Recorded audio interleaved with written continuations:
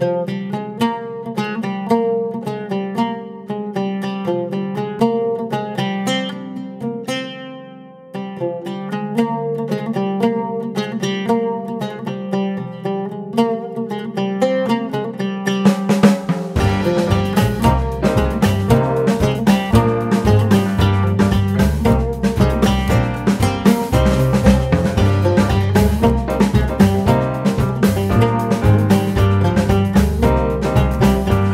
आदाब कैसे हैं? आप हो, बहुत अच्छे होंगे। आज आपको मैं एक नया जगह पे लेके जा रहा हूँ, जो बहुत कम लोग यहाँ के बारे में जानते हैं। इसका नाम है लाल बारादरी।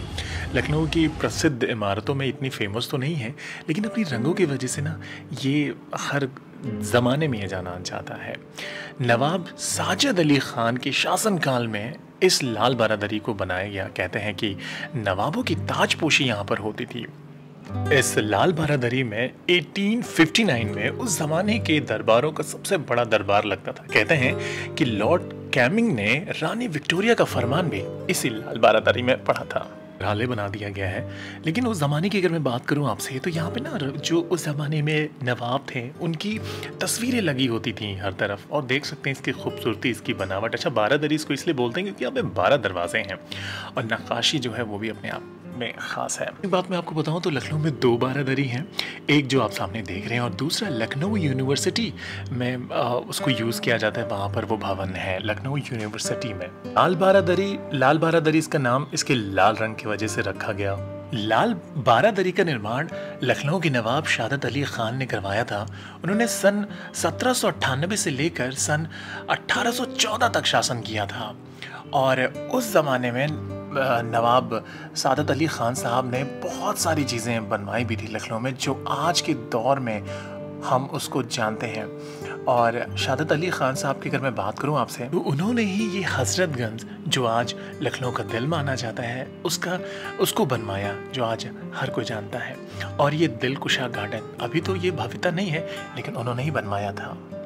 कहते हैं कि लाल बारादरी का इस्तेमाल ताजपोशी के लिए किया जाता था उस ज़माने में। नवाब शादत अली ख़ान के पोते नवाब नसरुद्दीन हैदर ने जो अपने ज़माने में जब उनका कार्यकाल था तो उसमें बहुत सारी चेंजेस करवाए।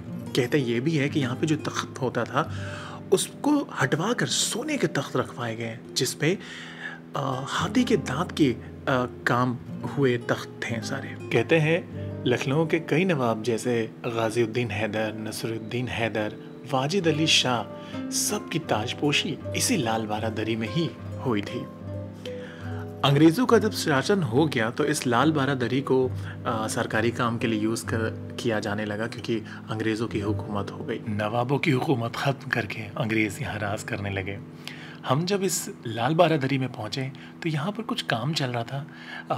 यहाँ पर आप देख सकते हैं हर तरफ़ पेंट और हर तरफ़ इसकी तैयारी हो रही है। और इसको और ख़ूबसूरती जो उस ज़माने की थी ना, वो थोड़ी सी जो डैमेज हो गई थी, उसको बरकरार करने के लिए गवर्नमेंट के द्वारा इसको वापस इसको सही किया जाने लगा। देख सकते हैं इसकी खूबसूरती। आज भी ऐसा लग रहा है एकदम फ्रेश और नया है।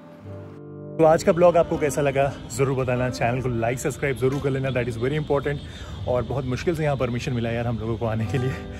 लेकिन आके मुझे आप जो आपको एक्चुअली दिखाना था। इस वजह से यहाँ तक आया। सो फ़िलहाल यहाँ से जाने का वक्त है। चैनल को लाइक सब्सक्राइब ज़रूर कर लेना। दैट इज़ वेरी इंपॉर्टेंट और यार बेल आइकन का जो नोटिफिकेशन वाला बटन होता है ना, वो ऑल कर देना। फिर मिलेंगे किसी और दिन, किसी नए जगह पर, नए ब्लॉग के साथ। तब तक अपना पूरा ख्याल रखना। बाय